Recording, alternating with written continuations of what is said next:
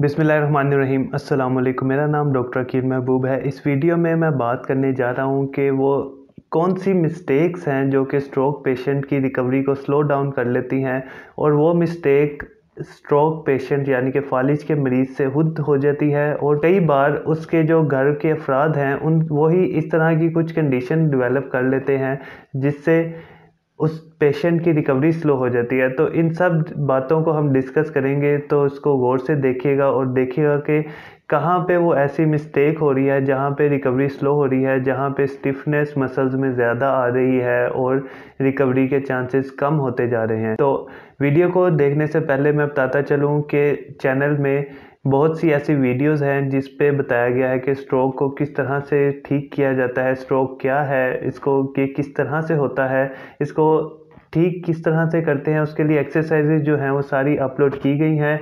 Description में उस playlist का लिंक है, आप वहाँ से जाके उनको देख सकते हैं और वहाँ से एक्सरसाइजेज सीख सकते तो वीडियो शुरू करते हैं। वीडियो में सबसे पहले जो मोस्ट कॉमन आपको चीज़ बताई जाती है स्ट्रोक के लिए वो एक्सरसाइज होती है। और कई बार उस एक्सरसाइज को ही गलत तरीके से कर लेने से क्या होता है कि हम स्ट्रोक जो पेशेंट होता है फालिज का मरीज़, उसके मसल में स्पास्टिसिटी ज़्यादा हो जाती है। यानी कि उसका जो अकराव होता है, वो कम होने की बजाय ज़्यादा हो जाता है।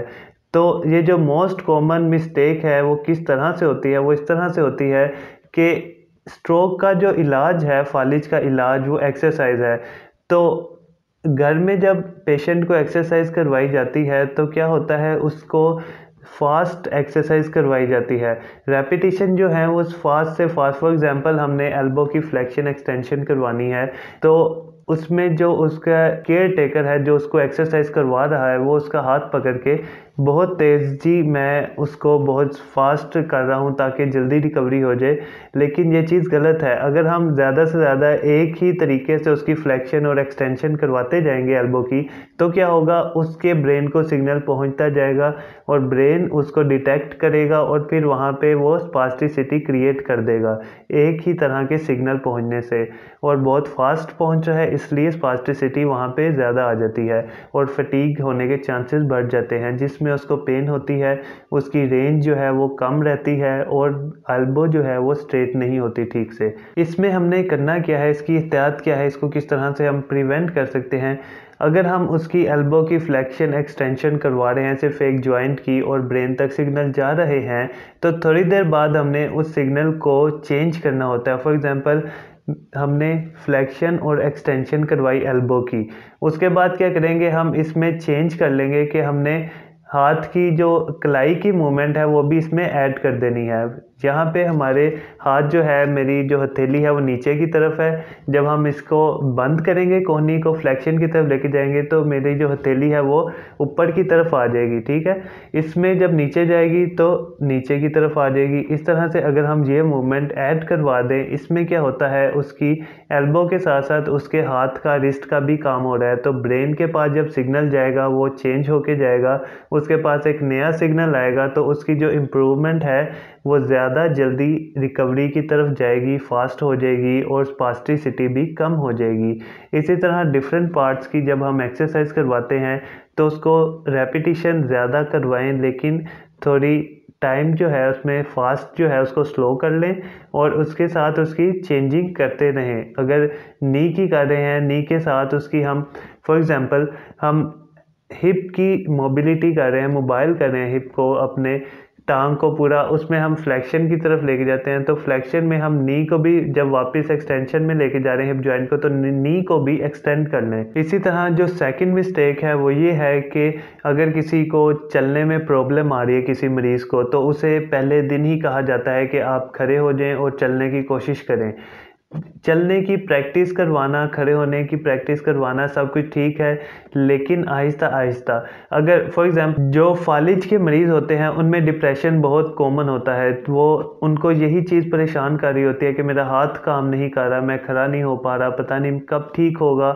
बहुत से क्वेश्चन उसके दिमाग में होते हैं, वो बहुत ज़्यादा डिप्रेस होता है। अगर हम उसको पहले दिन ही कह दें कि आप चलें चल के दिखाएँ, खड़े हो जाएँ, आप कर सकते हैं। इस तरह की मोटिवेशन अगर हम उसको ज़्यादा ज़्यादा करें तो क्या होगा? जब वो एक दफ़ा खड़ा होगा और वो गिर जाएगा या फिर उससे खड़ा नहीं हुआ जाएगा, उसके अंदर डिप्रेशन ज़्यादा आ जाएगा, उसके अंदर एक डर पैदा हो जाएगा कि मैं ठीक से खड़ा नहीं हो पा रहा। अगर खड़ा होगा तो गिर जाऊँगा।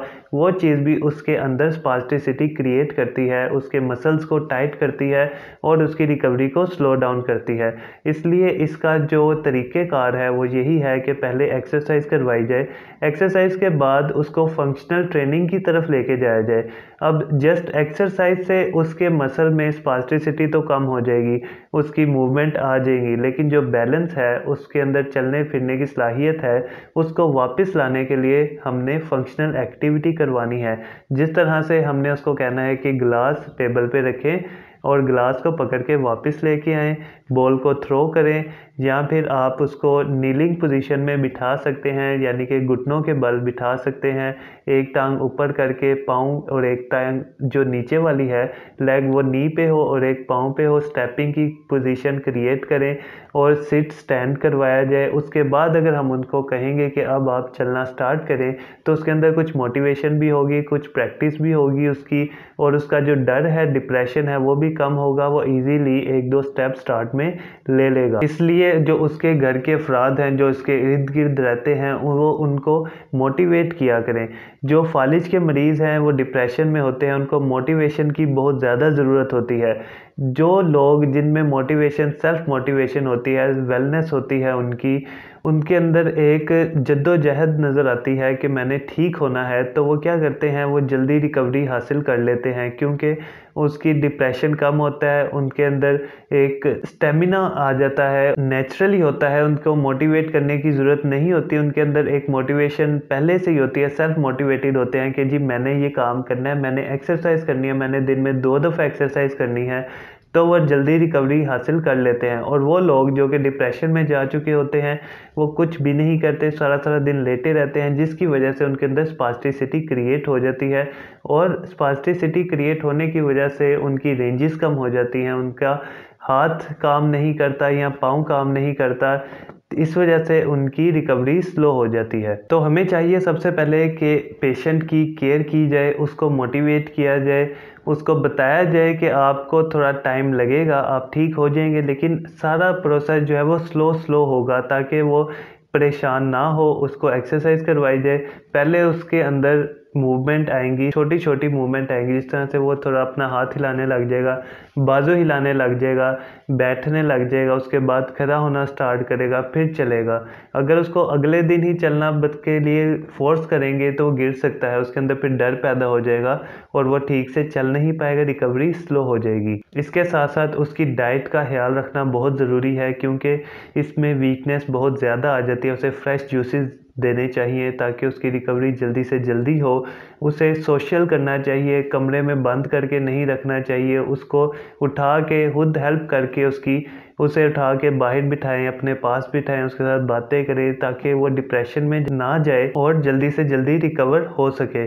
तो बहुत सी वीडियो जो हैं, पहले बनाई गई हैं कि बैलेंस ट्रेनिंग क्या है स्पेशली इनमें हाथ की जो परेशानी आती है, हाथ जो है, बाकी सब कुछ ठीक हो जाता है, लेकिन हाथ जो है वो काम नहीं करता, खुलता नहीं। उसके लिए जो डिफरेंट मैंने एक्सरसाइजेज बताई हैं, वो भी आप करें। कुछ सप्लिंट है, हैंड सप्लिंट है, वो भी आप नीचे वीडियो जो प्लेलिस्ट में है, वहाँ पे जाके आप वो वीडियोस देख सकते हैं ताकि इन पेशेंट को जल्दी से जल्दी रिकवर किया जा सके। और अगर ये इन्फॉर्मेटिव वीडियो है, जहाँ आपके दिमाग में कुछ ऐसी बातें हैं क्वेश्चन हैं तो आप कमेंट सेक्शन में वो पूछ सकते हैं। उसके अलावा आप अपनी जो रिकवरी के आपकी हिस्ट्री है, आपके पास कि आप किस तरह से रिकवर हुए हैं, वो भी आप बता सकते हैं ताकि दूसरे आने वाले व्यूवर्स जो हैं, वो कमेंट में देखें और उनको भी मोटिवेशन हासिल हो कि इसका इलाज है। इससे मैं जल्दी रिकवर हो सकता हूँ डिप्रेशन में जाने की ज़रूरत नहीं है। तो चैनल को सब्सक्राइब करें ताकि आने वाली हर इन्फॉर्मेटिव वीडियो आप तक पहले पहुँच सके।